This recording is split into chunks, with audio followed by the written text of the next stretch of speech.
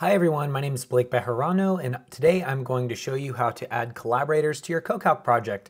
Collaborators being TAs, instructors, other researchers, folks that you trust with the files inside of your project. This is very different from students, so if you're looking to add students to a course, please check out our other tutorial video on that. But here we go. You can see I'm at cocalc.com. I'll go ahead and click on my projects and then you'll go ahead and select whatever project that you'd like to add a collaborator to or create a new one. Gonna go ahead and hop into my test project.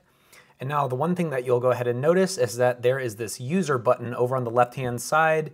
You can either select the flyout panel or you could go ahead and select the button itself. And then you can add the email address of the collaborator. You could use their name if they already have a CoCalc account, but typically since names don't tend to be unique, we do recommend using email addresses and I'll go ahead and add my personal email now.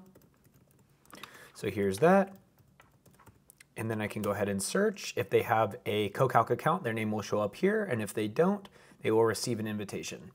So I'll go ahead and do that. So I'm gonna go ahead and add my selected user. And now my user is added. So there we go. You can see that Blake is um, added as a collaborator to my project, and you could go ahead and remove um, folks that you do not want to have access anymore um, underneath the similar panel. All right, so that is just a really quick overview.